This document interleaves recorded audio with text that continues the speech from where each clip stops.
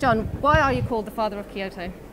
Well, because of the negotiations we took 12 years ago, where uh, at the end of the day, just it was breaking down, just like this conference, the leaders stepped in, and the three of us met in a room. We'd agreed 5%.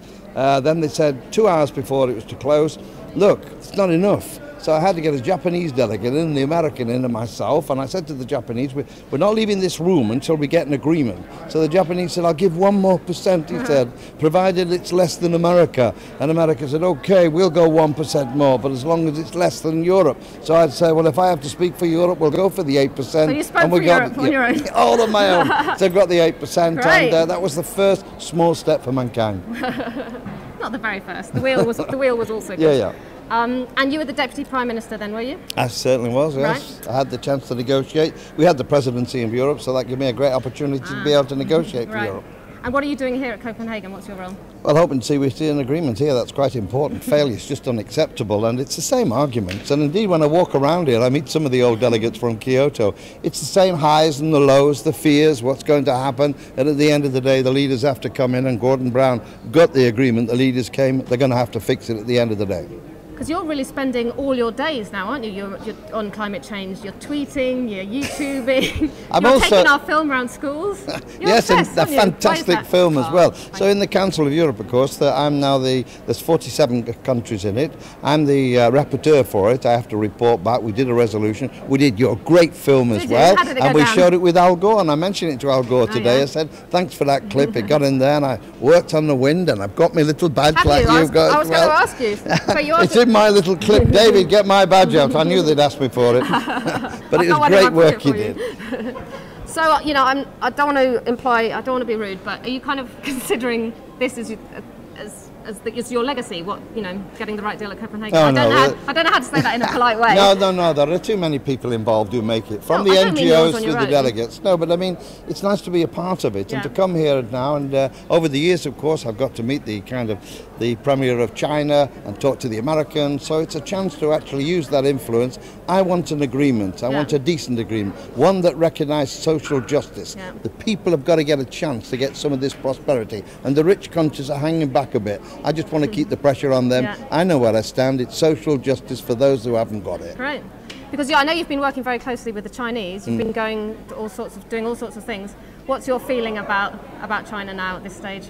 Well, I think China feels, as the developing countries at the moment, that the uh, rich countries are being a bit heavy on them. And I think, Yeah. you know, we've got to give a bit more and recognise that basically when we talk about emissions, it sounds, well, everybody's doing everything.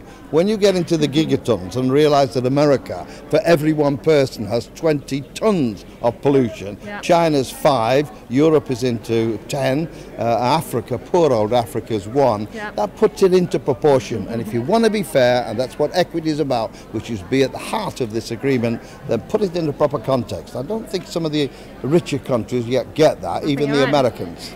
So can you tell us? I'm sorry to throw this at you, but on this, because because the UK delegation. Am I doing the UK? You uh, are. Well, badge? the UK, the UK is going to f- for 40% by 2020 at max, 30%, right? Yep. At the moment, we're on 20% by 2020, Yeah. but hoping to get to 30, Yeah. which would be towards a coin flip. If you were in charge, where would you go? What would you go for? I think we've got to be over 30%. You've got to be really tough about this. We Yeah. polluted the world. The rich countries can really make a difference. And therefore, I you'd would be put 50, that 60, over. I would certainly, I, I'd, be. I'd be certainly taking it up to this region, certainly over 40%. And that's even in the Kyoto period, Yeah. Even higher when we get longer. And uh, I, I do think, yes, we've got to do that. And also a lot more money. Yeah. You've got to do something about the money, you've got to do something about the emissions, and you've got to get uh, an agreement of how that is going to be fair and how it reduces poverty. Yeah. When the Polish Prime Minister says to me some time ago, Mr. Prescott, we are very poor here. We're not as rich as America, and we can't take this kind of deal. I say, yes, but don't you forget, I don't think you've got many people living on less than $2 a day. Yeah. Let's have it in proper perspective. Remind there are billions of people waiting for us to get it right here. It is about poverty, it's about human justice, Yeah. and that's why I want to be pushing here like I was at Kyoto. Well, you're doing a very, very good job. Thank you very much. And I just want to ask, how are you going to cut your personal 10% next year as part of the 1010 campaign, which I know you've signed up to? No, I've done it. I actually had the people looked at the. Oh, I did me. I bid the boilers before he even come and told us we could get some discount. on I don't, I don't want to tell you the bad news, but if you've already done it before the end of. I know we don't get it. I no, you have to do today. it again. You're going to have to do another 10%. Oh, I know. You mean, ah, well, I had them in to say, look, how can I make Oh, a oh, contribution see, to the 10%? Okay. We did the boilers, we did all the Right. kind of insulation, we did the water as well. I have the water co- I could have all those things, but Great. I got was advised on it, and I thought if I'm going around shouting, what you doing your bit? Great. And your 10 by 10 came along, and I go around the schools Yeah. telling them, tell your mums and dads to do that deal. And I can't resist. Well, I know what's Have you still got the coming. Jags?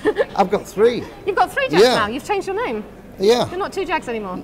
Well, I'm three jags. three Jags. Yeah, because I've This got is a scoop. This is a stupid show It scoop. is, yeah. I've got a bike made by Raleigh called the Jag, so you better get up to speed. Ah, it's funny. Thank you so much, Okay. three Jags.